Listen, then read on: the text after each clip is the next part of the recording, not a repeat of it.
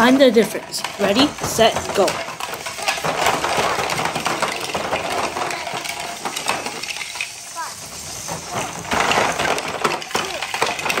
I will explain, but later.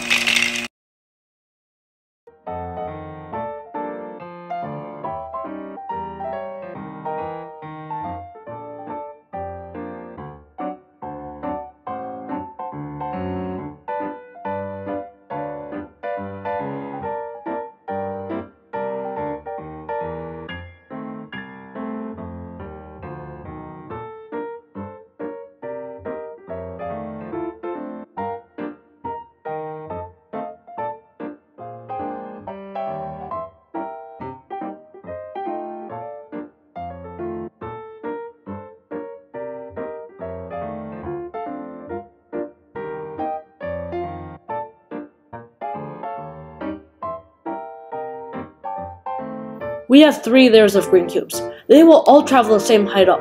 The bottom cubes will also climb over the 13 pitch wall, but then fall down again. This is a waste of work, right?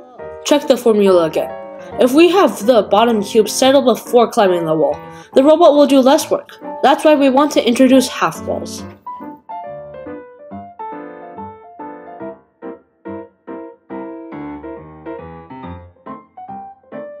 Let's see the half wall in action again. It's a two motor intake.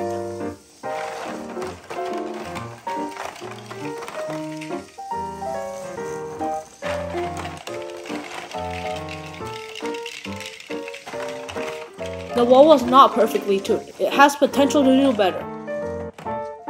You can make it better. Try it. Very satisfying.